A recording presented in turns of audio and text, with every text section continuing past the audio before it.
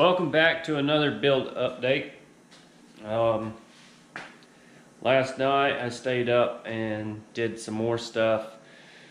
Um, got the Infinity off-road light bar mounted. Uh, put the brackets and stuff up uh, with it. The power flip windshield comes all the way up, but it's making contact with it.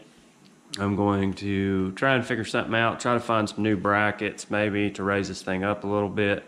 Uh, it's not causing any damage, but I did run into an issue with the new uh, roof.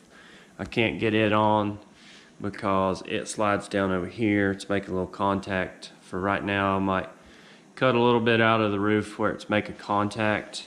Um, I got my wiring and stuff ran. The light in the garage is a little bit is a little dim, but it's cold outside, so bear with me. Um, I got the wiring for the motors for the power flip up and ran. Also started running my harness for the light bar. got the fuse box and stuff installed where it's going to be and then the mount for the relay for the light bar. Um, as you can see, maybe the other side where I ran the wiring harness. I know you're supposed to run that through the cage, but I don't like the fact uh, or the idea of running it through the cage, so I didn't want to. I got my switch working. Uh, it's on the accessory power, so it only comes on while the accessory power of the machine is on. I have been working on getting the Hill Killer installed, the shifter. Hopefully you can see that. Uh, that requires basically taking all this, all this stuff apart. Um, you're handling everything, taking the old shifter out. Uh, there's a few reusable pieces. Let's see where their instructions are. They send you when you get when you get the uh, XDR from B&M uh, Hill Killer. They send you some instructions. It's all in black and white, but it's actually pretty good. Uh, they send you pictures, and you know the instructions and everything is relatively easy to follow. Um, still haven't got to do the last part of where you got to do the linkage adjustment. Uh, haven't made it that far. I'll have to start the machine up and pull it out of the garage and get it to to be able to adjust it and make sure everything's fine to test it out. But for right now, I've got both seats out, seat belts and stuff out. Um, the front end is about to come apart. Um, so I can, I got my rock lights and stuff organized, the Infinity off-road rock lights. I'm using the 8 watt setup. I'm gonna pull the front end apart and get that ran through and then tuck my wires as nice and neatly as I can through the trans tunnel and run everything up to the fuse box. Um, fuse box, if you watched any of my other videos, the fuse box itself, Infinity Off-Road offers it. I think it's a marine type fuse box, comes with a color and labels. Um, it's pretty nice, simple, easy to use. Uh, I've got some wood screws it's got big threads on them, wood screws that I use to put them in uh, to start the holes if I have any issues out of them. I did the same thing with the other Maverick. Uh, I don't have any secure issues. You know, they've not came loose, not had any problems. Uh, if it does, then I'll just, I've got a, uh, a little clip that goes on the back of these screws that would serve its purpose as a, as a nut. So Shout out to Harbor Freight for always taking my money. We got some stuff, Home Depot. Uh, I uh, got some goodies to help continue this process. Uh, so wiring, I'm gonna wire up my rock light or uh, Infinity off-road rocker switch for this bad boy up here. Um, I had actually originally purchased a another light bar grill, but I really like this grill and the color of it and stuff, so I, am gonna hang on to it for a little while. I'm not gonna swap it out yet until I feel the need that I'll I want to get something else. But here's a good. Hope the lighting's not crappy. Well, I mean it is, but there's the bracket stuff installed for the Hill Killer um, shifter. It's not too bad. Like I said, the instructions work out great. So it's easy to follow. So I'm gonna update you as I go. Lighting's poor, so can't really do much time-lapse video and stuff. It'll turn out looking like crap. But anyways, on to the next part.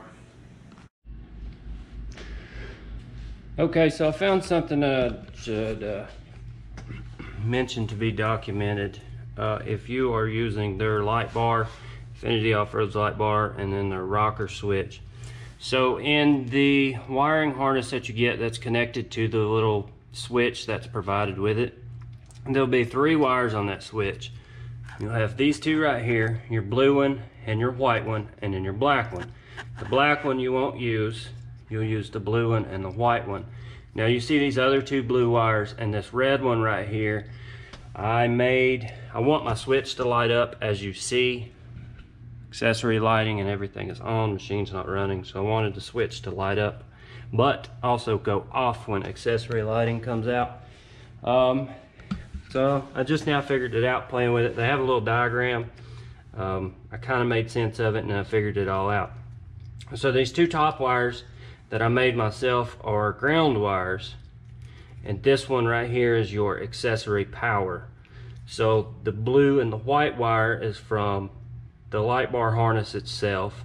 And then the red one you'll hook to accessory power. And then the two blue ones you'll hook to ground. And I'll show you where those ran they're about exactly the same as what I did for the power flip windshield as recommended. So right here, you have your, your ground, your base ground for your bus, and then you have your accessory power. You have power here, but you have accessory power right here. So it'll kill power to that. So I have mine connected here, and then made a little three wire harness and ran it up through the trans tunnel. Uh, there's the cover panels that go right there, but I'll zip tie all that together so it's not slinging around anywhere. So I figured that was something notable to mention. If you find yourself on this video and you're like looking at their wiring diagram, which I could possibly show you right now. Bear with me for a second. And you can get this off of Infinity Off-Road. Um, basically, that's the back of the switch, what you're looking at right there give me a second, you can pause the video if you need to. Infinity Off-Road, you can find it there.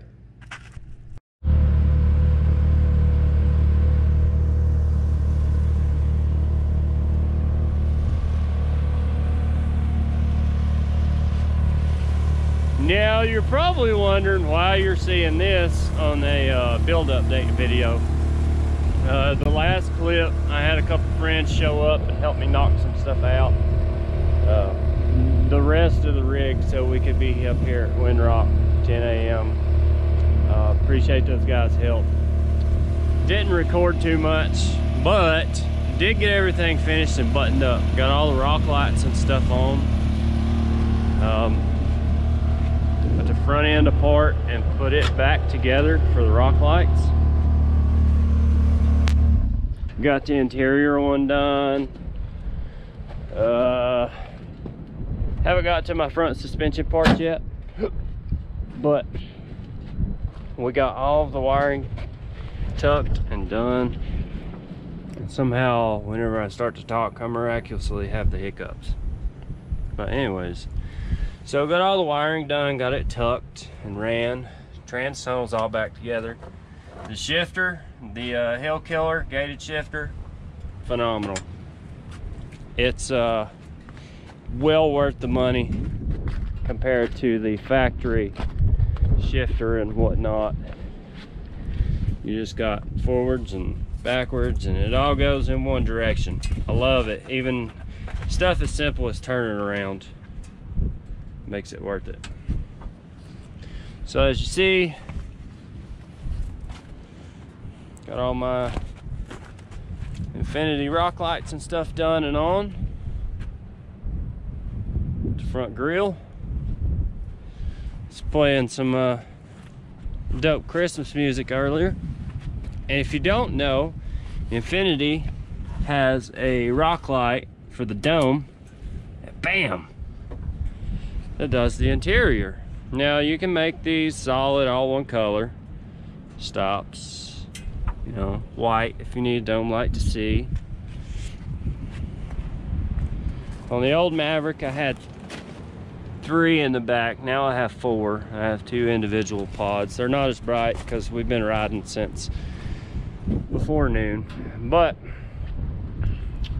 so yeah. The wind up here is pretty bad, so if there's wind noise in this video, I apologize.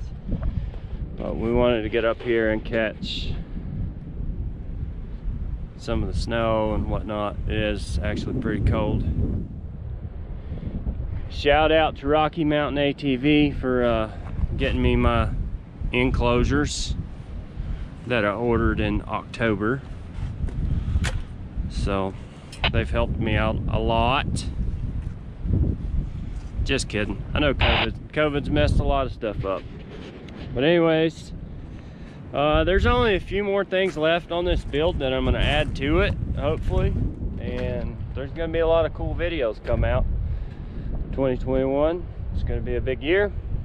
Um, if you guys got any questions, uh, I'll try to answer them as best as possible. But until then, peace out.